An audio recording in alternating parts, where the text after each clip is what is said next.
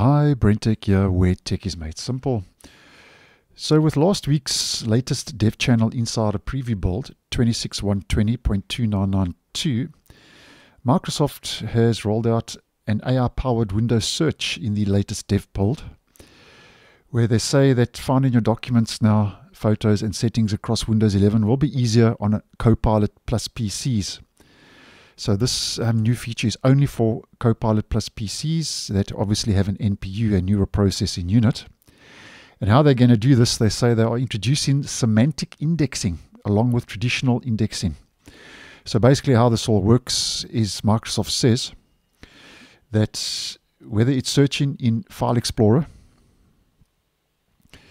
in the Windows search box, on your taskbar, or in the settings, what you need to do is you just type what's on your mind to find what you're looking for. So the difference between uh, semantic indexing and traditional indexing is you no longer need to remember file names, exact words in file content, or the setting names. So as an example, you can just use your own words to find images.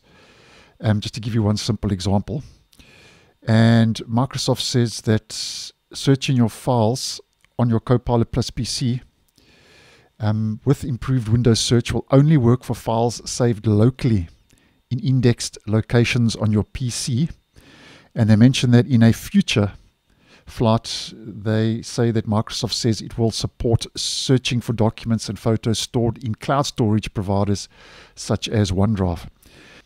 And then they mention that these improved Windows search features will gradually roll out to Windows insiders on Snapdragon powered Copilot Plus PCs with support for AMD and Intel powered Copilot Plus PCs coming soon, according to Microsoft. And they say that um, the current uh, languages that are supported are Chinese, English, French, German, Japanese, and Spanish. So that's just a brief overview as to the new AI powered search finding its way now into Copilot Plus PCs in the latest Dev Channel Insider Preview build.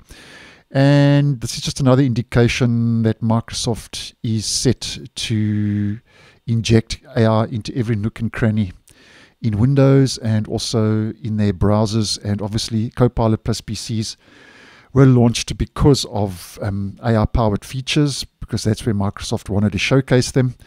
So, AI powered search, um, that'll be across the board. So, that will be in File Explorer settings and on your taskbar search um, for Copilot Plus PCs when that eventually makes its way into a stable version of Windows 11 on those Copilot Plus PCs. So thanks for watching, and I'll see you in the next one.